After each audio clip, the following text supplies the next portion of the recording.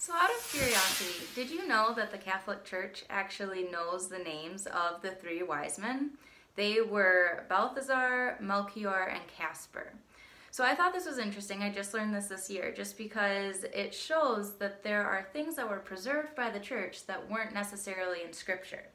And speaking of scripture, I learned this year too that Hanukkah is celebrated by the Jews for the celebration of the rededication of the temple after the Maccabean revolt, which is all described and accounted for in the books of Maccabees.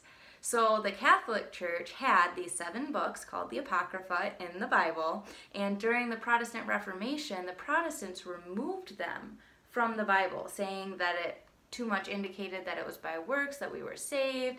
Um, there was evidence of purgatory in these books, all of these different things that attributed to doctrine that the Protestants disagreed with, so they pulled these seven books out. Now, what doesn't make sense to me about that is the fact that Christ himself was a Jew. So he believed in the Maccabees. I mean, he all of this stuff all took place. And for the fact that we come from Judaic roots, doesn't even make sense that we would then turn away such a major piece of literature that is needed for a huge part of the Jewish tradition. So when we look at the Catholic faith and see that they still have the Apocrypha, that says something about how we've held on to those Judaic Christian roots from where we actually originated. The church is full of history that's outside of the Bible. So during this Christmas season, I mean, there is a ton of like anxiety around traveling. I mean, just today, a two and a half hour car ride for my husband and I took four hours. And it's like, how do we stay calm during that? There are people flying by us going way too fast. And it's like, well, they could spin out and hit us at any moment.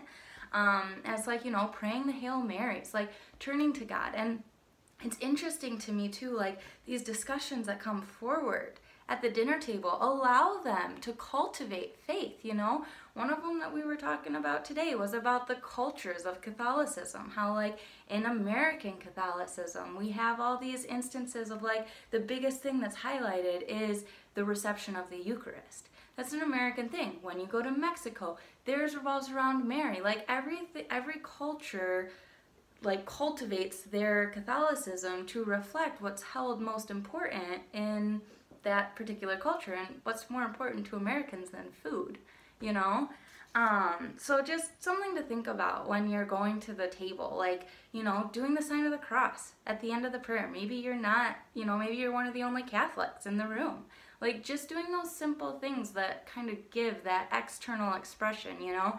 Our Christmas decorations are finally up, you know, Christmas Eve, and now we're going to leave them up until January 6th. The things that make Christian like the Christian Christmas a reality instead of giving into the secular world of what it is. Um, and then finally, I've talked about this before in like past videos, but the 12 Days of Christmas, that song. I haven't actually even heard it on the radio yet this year, which kind of makes me sad because it is one of my favorites. Um, growing up, they had like, we had these little bells that dictated each one.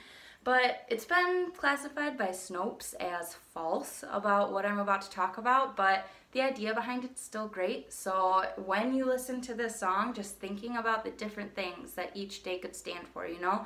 First day, partridge in a pear tree, Jesus in a manger, perfect.